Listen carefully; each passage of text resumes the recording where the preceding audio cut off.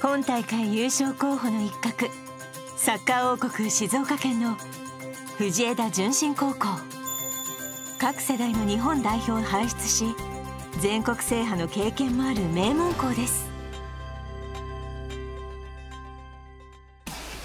チームを束ねるのは今大会ナンバーワンプレーヤー杉田ひな選手。実は彼女17歳以下の日本代表でもキャプテンを務め3月にはワールドカップで初優勝。大注目の杉田選手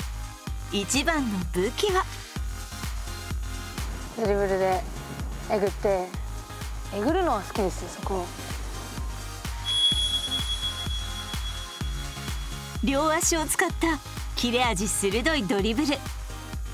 人がかりでも止められません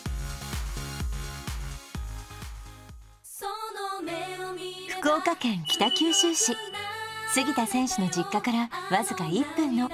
この小さな公園が世界ナンバーワンプレーヤーの原点